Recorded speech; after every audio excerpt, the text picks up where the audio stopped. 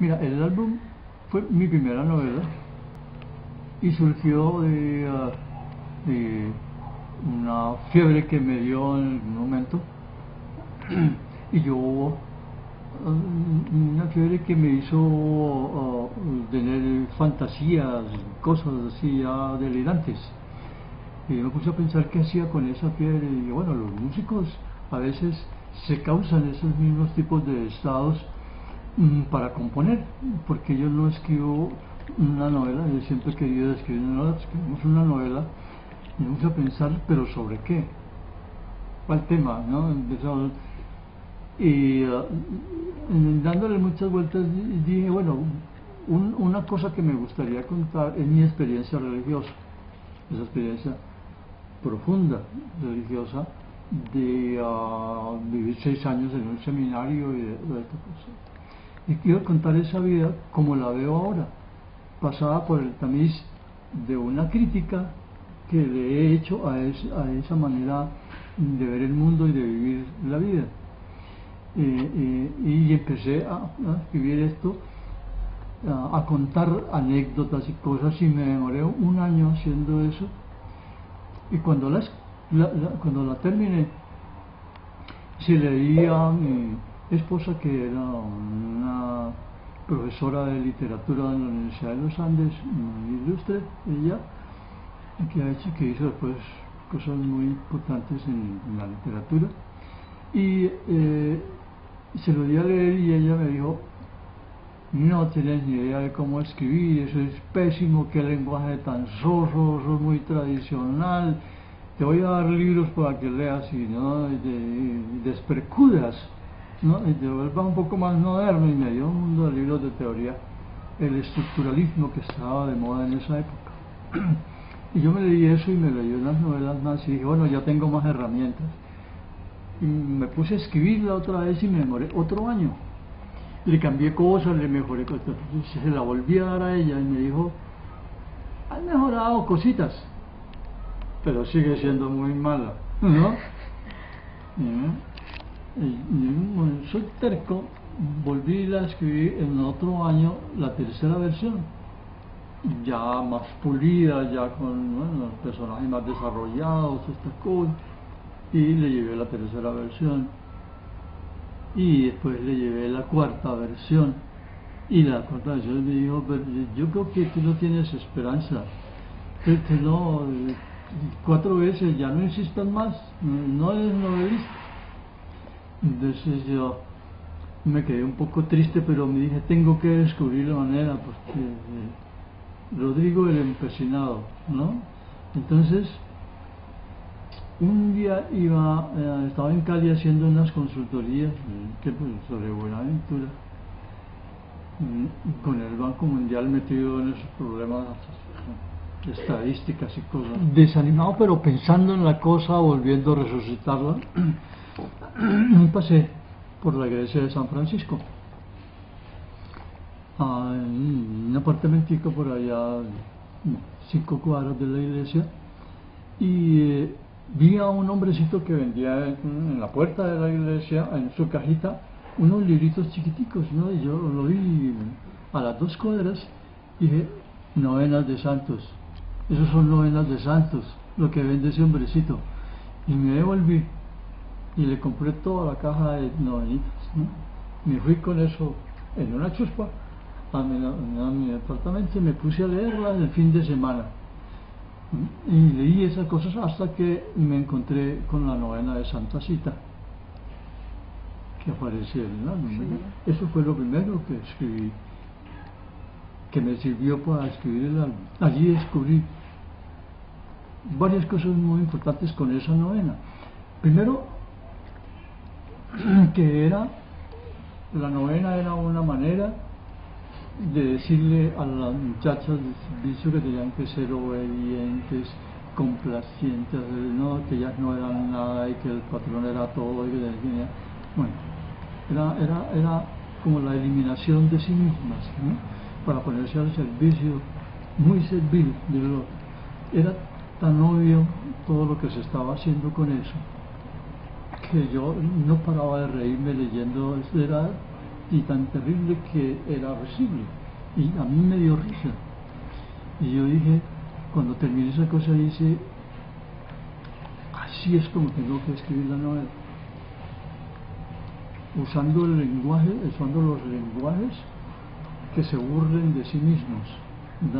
Los lenguajes del poder, los lenguajes de la religión, los lenguajes de todas las historias que hay ahí, poniendo lenguajes que sean tan obvios y tan eh, en su manifestación y que, uno se muera de la risa y eso que al desnudo en vez de andar haciendo una diatriba diciendo es que la moral y la religión y que esto no, eso, era un ladrillo. Y descubrí por una parte el humor en la literatura, cómo escribir humorosamente, es decir, eh, irónicamente, la ironía como una manera, una forma de conocimiento. y al mismo tiempo descubrí que uno, que todos los seres humanos no tenemos un solo lenguaje, sino que tenemos muchos lenguajes de toda la gente, los grupos humanos y las cosas que hemos hecho en la vida. Tenemos esos lenguajes que están ahí escondidos, dormidos y que pronto salen, ¿no? Y a mí eso me hizo salir eh, eh, primero ese lenguaje de lo, esa crítica a lo religioso, por ejemplo, las canciones que yo cantaba, ¿no? Mm, extasiado de, sentimientos religiosos, después les me ponía a leerlas y resulta que no, que eso era altamente erótico, ¿no? Y empecé a ver todo desde una forma más humana, y de esa forma más humana el lenguaje desvelaba todo lo que escondía. No, entonces lo que yo hice con Aldo fue tomar los lenguajes, entonces de pronto yo, el lenguaje de los indígenas, el lenguaje de los indígenas lo puse allí, ¿no? El lenguaje de, del que dice sí, pero está pensando por detrás haciendo pistola diciendo sí señor, sí como no patroncito, pero por está diciendo no se lo voy a hacer, no que yo que soy bobo que, ¿no? Hay una protesta por detrás. Entonces como, como, ¿cómo hacer que ese lenguaje diga eso que está escondiendo? Lo sugerido. Es lo que verdaderamente está diciendo. Y empecé a buscar eso. Y empecé a contar, y dije, ¿cómo hago eso? Y se me ocurrió la cosa del seminarista que tiene que escribir algo porque está haciendo un, una especie de diario, porque está pensando si se sale o se queda en el seminario. Tiene esa duda, entonces ese puede contar muchas cosas que no contaría un seminarista buena gente, que está aquí, ¿verdad? Y, y, yo, bueno, iba en la mitad de esa cosa. Cuando una noche, a las nueve de la noche me senté a escribir